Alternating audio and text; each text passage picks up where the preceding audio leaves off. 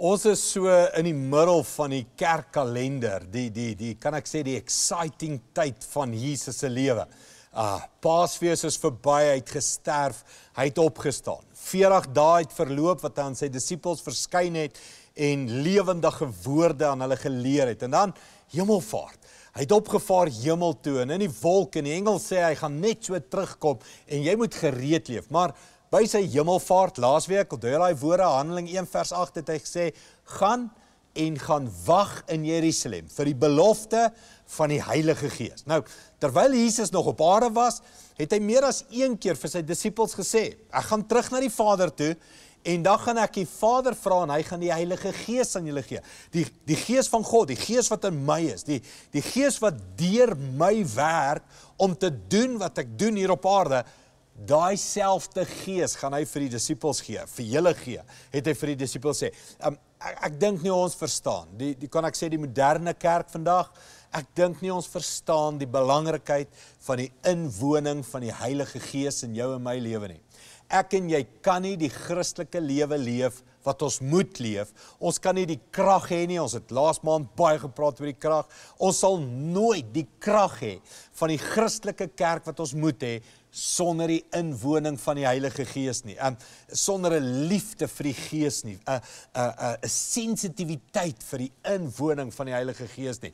En Jesus het dit oor en oor gesê vir sy disippels. Uh, hy het oor en oor gesê, julle moet gaan wag, julle moet honger, julle moet dors, julle moet die Gees ontvang, die Gees moet in julle kom. Nou ons gaan nou kyk na Pinksterdag, maar net nog een stelling daaroor. Ek dink die doodsheid in kerk, die leweloosheid in kerk, die kragteloosheid in kerk die liefdeloosheid te kerk. Laasweek het ons gepraat oor uh, hoe wag ek en jy die volharding, die verwagting in kerk dat Jesus terugkom. Al daai tekortkominge wat ons het in die kerk is as gevolg van 'n gebrek van die inwoning van die Heilige Gees in ons lewe. Ek dink 99% van alle probleme in kerk kan jy terugtrek na 'n tekort aan die lewe van die kerk, die die die bloed van die kerk, die kern van kerk, die gees van kerk die Heilige Gees. Nou, wanneer ek dit sê, daar's mense wat kan ek dit in sulke taal uit daar's mense wat Jesus fans is. Ek bedoel it's all about Jesus and that's all about Jesus. Maar Jesus het gesê jy moet vol wees van die Gees. En God is drie-enig. Dis die Vader, die Seun en die Heilige Gees. Jy jy kan nie all about the Father wees en all about Jesus wees en nie die Gees sy plek gee nie. Jy moet die drie eenheid van God verstaan en jy moet lief wees vir die drie eenheid van God en jy moet lief wees vir die werking van die Gees. Anders dan gaan jy nooit hierdie lewe kan leef wat ek en jy moet leef nie. So, kom ons gaan kyk op Pinksterdag. Wat het gebeur? Um hoe het hulle vol geword van die Gees en net wat's interessant daarvan en hoe het dit gebeur in die beloftes? En kom ons gaan kyk. Op Pinksterdag, Handelinge 2 vanaf vers 1 af, sê hulle hierdie woorde. Op Pinksterdag, 7 weke na Jesus se opstanding, was al die gelowiges op een plek saam. Skielik was daar in die lug bokant hulle 'n geluid soos van 'n geweldige stormwind en dit het die hele huis gevul waar hulle bymekaar was. Tonge wat gelyk het soos individuele vuurvlamme het toe tussen hulle verskyn en op elkeen van hulle gaan sit. Almal is toe met die Heilige Gees vervul. En soos die Gees vir hulle die vermoë gegee het, het hulle in ander tale begin praat ons gaan nou verder lees net net eers 7 weke na Jesus op sy opstanding. Jy, jy moet nou die geskiedenis, die Joodse geskiedenis verstaan. Um hierdie was weer 'n feestyd. Want die Paasfees, Pasga, het gekom van toe Moses hulle uit Egipte uit moet gaan. Onthou jy, hulle moes die lam slag die bloed aan die deurkusyne smeer. Onthou jy dit was die pasga en dit was die oorsprong van die bloed van Jesus. En ons gaan nie meer diere offer nie maar Jesus word ons offer. En as die bloed aan jou deure gesmeer is sal die doodsengel by jou verbygaan en dis waar die ewige lewe vandaan kom. So uit die geskiedenis uit was dit die pasga was dit die paasfees en Jesus vervang daai lam van Moses hulle maar nou het jy verder gaan. Toe trek hulle uit die beloofde land uit Nee, ag ag uit Egipte land uit op pad beloofde land toe. Toe gaan hulle die woestyn in. Iets van daai 40 jaar word 40 dae. Onthou jy, hulle was 40 jaar in die woestyn, 40 dae wat Jesus geleer het. Hemelvaart deur die deur die see in voor die beloofde land en in daai tyd wat het gebeur? Moses gaan teen die berg op en hy kry die 10 gebooie. Nou 7 weke na Paasfees het 'n Jood herdenk die gebod die 10 gebooie wat aan hom gegee is. Hy het herdenk dat Moses ontvang die wil van God. Groot woorde, hè? Almal wil weet, wat is die wil van God vir my lewe? Wat moet ek doen? Koop en verkoop, trou nie, trou nie. Wat moet ek doen? Waartoe moet ek trek? Waartoe moet ek gaan? Wat is die wil van God? Nou die Jood het herdenk 7 weke na die Paasfees het hy herdenk Moses ontvang die 10 gebooie. Dit was die grootste gebod. Dit was dit was die ultimate Joodse lewe om die wet van God, die wil van God te hê, die respek vir die 10 gebooie. Nou hoor nou mooi. 7 weke daarna in plaas van dat hierdie disippels van Jesus weer die wet ontvang, ontvang hy die Heilige Gees. En en ons gaan volgende week bietjie daarna kyk hoe die wet van die Gees die wet van die letter vervang en hoe die Heilige Gees jou 'n kind van God maak. Want die wet kon jou nie red nie, net Jesus kon jou red. Maar as Jesus jou kom red, dan gee hy vir jou die inwoning van die Heilige Gees wat jou kind van God maak. So so hierdie dag Hierdie stukkie skrif is maar net ons lees dit Pinksterdag, maar vir 'n Jood wat hierdie sal lees, sal hy sê, "O, oh, 7 weke na Pasga is toe ons die wet gekry het." die verbond gekry. Dis dis toe God vir ons gesê het, hier's die reëls, hier's die wette, anders gaan jy hel toe. Is daar nou 'n plaasvervanger? Ja. Die wet is vervang deur die Gees. En hier is my vraag, leef ek in deur die Gees of leef ons deur die wet? Onderhou ons die 10 gebooie of word ek gelei deur die Gees? Is ek in 'n godsdiens van wette of is ek in 'n verhouding van die inwoning van die liefde van die Gees in my hart? So dis wat hier gebeur het. 7 weke, Heilige Gees word uitstel. Rukwind kom in die plek. Almal ontvang iets van die inwoning van die Heilige Gees. Hulle spreek in vreemde tale. Kom ons gaan lees verder. Hy sê: "Daar het toegewyde Jode uit al die nasies onder die son in Jerusalem gewoon." Baie mense sê hulle het tydelik daar gewoon want hulle kom uit verskillende streke uit. Hulle daar gewoon vir die fees. Die fees van die wet, dat hulle die wet ontvang het. Maar hulle het daar gewoon. Die geluid van die stormwind en die stemme het 'n groot skare daar laat saamkom. So so hierdie geluid was nie net in die gebou nie. Hierdie is baie interessant. Hierdie geluid was selfs mense buite die gebou het hierdie geluid gehoor. Nê? Nee, ons dink altyd as ons hier in die kerk kerk hou en hier's iets wat lekker gebeur, dis net ons wat dit beleef. Regte geesbelewenis Mense buite die gebou hoor iets het binne die gebou gebeur. So hulle het buite gehoor en hulle wil nou kom kyk wat het gebeur. Hy sê, um hulle was uit die veld geslaan omdat elkeen die gelowiges in hulle eie taal hoor praat het. Daai is vir my mooi. Hulle was heeltemal uit die veld geslaan. Hoe is dit moontlik? Het hulle uitgeroep. Almal wat hier praat is Galileërs en tog hoor ons hulle in ons moedertaal praat. Hier is ons Perse Medeërs en e- Elamite, mense van Mesopotamië bly in Juda, Kappadosie, uh, Pontus in die provinsie Asië, Friege, Pamfile, Egipte en dele van Libië in Sirene se kant toe. Besoekers uit Rome, Jodes sowel as uh, proselite, Kreteneërs en Arabiere. Ons almal hoor in ons eie taal praat oor die groot dinge wat God gedoen het wat vir my uitstaan is nou baie streke en gebiede en bekende en onbekende plekke. Hier moedertaal. Ag ek bedoel daar's mos massiewe debatte in ons land oor taal, nê. Nee. Ek praat nou Afrikaans met jou en dis nou 'n kwessie in ons land. Afrikaans is het klomp issues, nê. Nee, daar's ons issues oor hierdie goed. Hoor hoor die evangelie, kan ek net vir jou sê, jy moet die evangelie in jou moedertaal hoor. Die uitstorting van die Heilige Gees het gekom om in jou moedertaal vir jou te vertel God is goed. God is groot. God is lief vir jou. En al die debatte oor taal kan vir ewig aangaan. En ek sal eendag dalk in Engels spreek en ek sal 'n klomp goed doen en ek sal mense probeer help in sendingwerk en alles, maar ek glo in hierdie beginsel.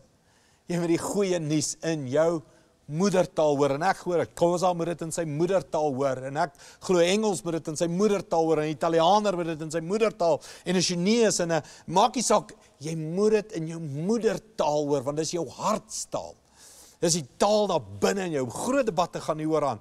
Uh, moet kerk alles transformeer? Moet kerk soos die community word? Moet moet kerk meer Engels? Moet kerk dit en moet ons meer innemend wees vir ander mense, ander rasse, ander tale?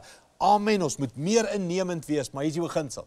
Jy moet die goeie nuus hoor in jou hartstaal. In jou moedertaal moet jy hoor God is lief vir jou en kom ek kom ek gee dit vir jou. Die Heilige Gees praat jou taal. Die Heilige Gees praat jou moedertaal. Dit dis amazing op Pinksterdag het hy die goeie nuus, die Heilige Gees het die goeie nuus aan al hierdie verskillende. Ek dink hier's 11 tale. Nee, ekskuus, dis Suid-Afrika, nee, ons het 11 tale. Ek dink hy het in al 11 tale die goeie nuus op Pinksterdag kom vertel. En is dit nie 'n boodskap vir Suid-Afrika nie? Dat almal moet die goeie nuus in sy moedertaal kry. En wat is die goeie nuus? God ken jou. Hy ken jou by die naam. Het jou in jou ma se moederskoot al geken en gevorm en 'n boek oor jou lewe geskryf en hy het jou gekies en hy het jou lief en hy het vir jou gesterf en hy het jou geroep en hy het 'n plan vir jou en jy hoef nie in hierdie tydelike lewe se oorlog van wat besit ek en wat kry ek en wat's myne en hoe haat ek iemand anders ter my klei wat ek nie het nie wil ek vat by ander. Ek hoef nie in daai oorlog betrokke te raak nie want die God van die heelal deur die stem van die inwoning van die Heilige Gees in my hart sê vir my God is lief vir my en niks kan my skei van daardie liefde nie. En hier is my vraag hoor jy dit? Want dis wat Pinkster sê Pinkster gaan nie oor die rukwind en die tale en die vlamme vuur. Dis pragtige goed en ek's mal oor en ek ek's 'n Pentekost babietjie. Ek het groot geword in 'n Pentekost kerk en ek love al daai goed en ek love dit nog steeds. Ek mal oor en gawes en die krag van die Gees en die werking van die Gees. Maar hier is die kern van die werking van die Gees. Jy moet die goeie nuus in jou hart hoor. In jou moedertaal. In jou hartstaal moet jy hoor. Ek, God die Vader, is so lief vir jou dat ek het my enigste seun na hierdie wêreld toe gestuur en hy het jou sonde, my sonde, jou sonde, het hy op hom geneem en hy het daarvoor gesterf om die verhouding tussen jou en my reg te maak. En die Heilige Gees gaan daai woorde in jou hart sê en jy moet daarop sê ja en amen. Ek vat dit. As jy dit nie sê nie, hoor jy nie die goeie nuus met jou lewe nie. Jy leef nie in die nuwe verbond nie, dan leef jy dalk nog in die 10 gebooie. Jy leef nog in die tyd voor Pinkster. Jy weet? En dis hy sê vir sy disippels, how amazing Johannes 21. Hy sê vir Petrus, "Het jy my lief?" Petrus sê, "Ja, Here, weet ek het lief." 3 keer hy en Petrus, "Het jy my lief? Het jy my lief? Het jy my lief?" En al hierdie goed is pragtig en laat my skape wy en hy hy het hierdie great moment saam met Petrus, maar na daai great moment, weet jy wat sê Jesus nog steeds vir Petrus? Gaan wag op die Heilige Gees. En dis asof die kerk dit nie hoor nie. Die kerk bly by daai great moment. O ja, Jesus is lief vir ons. Jesus het gesterf vir ons. Ek glo in Jesus. Jesus. Hey, Jesus sê vir jou, is jy vol van my inwoning van die Heilige Gees? Want anders dan gaan jy nooit die krag van die goeie nuus snap en verstaan nie. Okay, ons moet verder lees. Hy sê al hierdie gebiede, hoor hulle oor die groot dinge wat God vir hulle gedoen het. Hulle was almal uit die veld geslaan. Wat kan dit tog beteken? Het party van hulle vir mekaar gevra. Maar ander het gespot. Hulle is maar net dronk het hulle gesê. Hierdie is die natuurlike reaksie van die wêreld. Jesus vat lank om terug te kom. Ons het laasweek daaroor gepraat. 2000 plus jaar. Ag hierdie kerk's net mal. Ag hierdie kerk's net dronk. Christene is fanaties. Uh hierdie inwoning van die Heilige Gees, sê God die Vader verstaan ons Ou Testament kan dit verstaan, die Torah, die wette. O ja, ons verstaan dit. Jesus, die geskiedenis bewys dit. Jy kan nou in 'n vliegtyg klim en vlieg Israel toe, Jerusalem toe. Jy gaan die voetspore van Jesus kan doen en dis amazing. Die hele plek's vol af van Jesus, ek's met jou. Maar die Heilige Gees, waar is hy? Wie is hy? Nee, hierdie mense is net dronk. Nee, nee, hierdie mense praat net sinnebeelde. Dit is 'n pie in the sky. Nee, nee, nee, hoor mooi mense. Daar sal altyd mense wees wat sê jy's net dronk. Maar ek en jy weet as jy in jou hartstaal, jou moedertaal gehoor het God is lief vir my, Jesus het gesterf vir my en het opgestaan, dan het jy al die stem van die Heilige Gees gehoor en dan weet jy jy's nie dronk nie. Jy weet wat jy gehoor het. Jy weet hy het jou gekies. Jy weet hy het jou geroep. So hy sê nee, hulle is net dronk. Nou nou gaan hy aan en Petrus begin om die evangelie te verkondig vir die eerste keer. En ons almal ken die resultaat, né? Nadat Petrus dit gedoen het, Jesus se sterwe, Jesus se opstanding verduidelik het, het 3000 mense tot bekering gekom. Dieselfde Petrus wat weggehardloop het toe hy sê, ek ken nie vir Jesus nie. Toe hy Jesus gekruisig het, met die krag van die Heilige Gees, kom daar 'n boldness, 'n vrymoedigheid oor die oor Petrus en hy preek in die middel van Jerusalem Uh ook in Jerusalem is daar 'n plek waar hulle sê hulle dink die bo vertrek was, die nou gangetjies en en die klomp heidene uit die verskillende plekke uit, en verskillende Jode uit verskillende lande uit bymekaar moes wees en en waar 3000 mense in die strate kon bymekaar kom en Petrus spreek in die middel van Jerusalem. Preek hy die goeie nuus. 3000 mense kom tot bekering.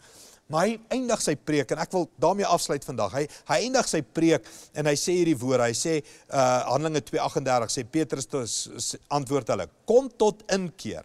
Maak reg met God. Laat julle in die naam van Jesus Christus gedoop word sodat julle sondes vergewe kan word." En hy sê hierdie woorde by: "En julle sal die Heilige Gees as gawe ontvang."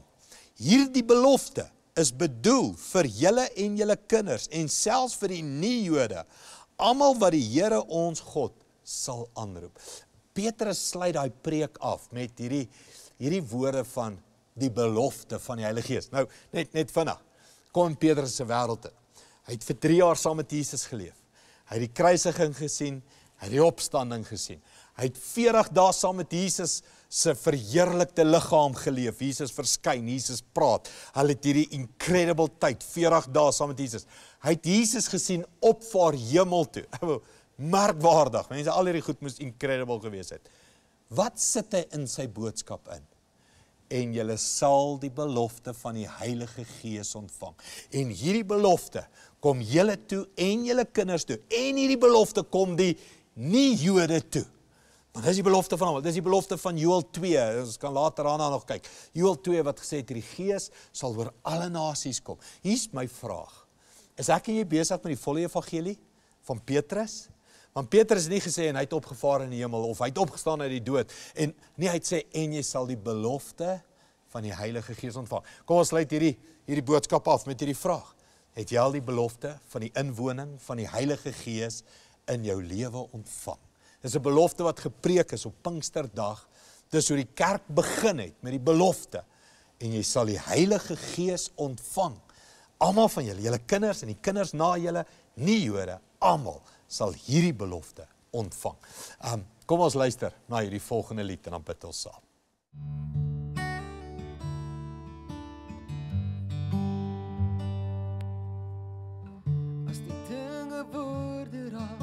My woorde aanhou leeg raak.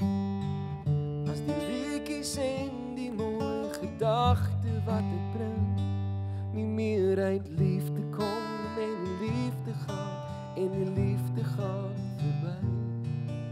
My eerste liefde het gou vergaan, net 'n skadu weer wat oorbly. Here skink in my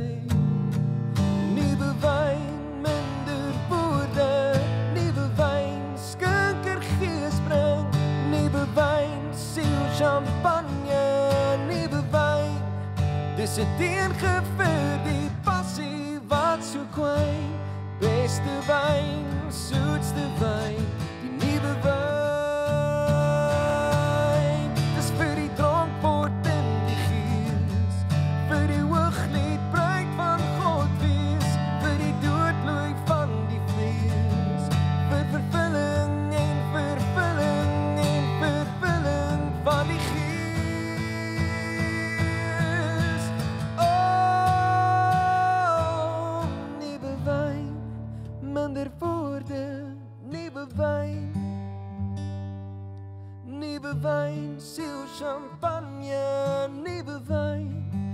dis 'n teengevoer die passie wat so kwyn beste wyn soetste wyn nuwe wyn Ek wil saam met mense bid wat sê Andries, ek het net 'n honger vir die volheid van die drie enige God, God die Vader, die Seun en die Heilige Gees om in my te woon. Kom ons bid saam. Hemelse Vader, baie dankie vir die belofte van Pinkster. U woon binne in my, u gees, u lewe, u krag, u liefde. Alles is binne in my deur die uitstorting van die Heilige Gees. En hier is my gebed.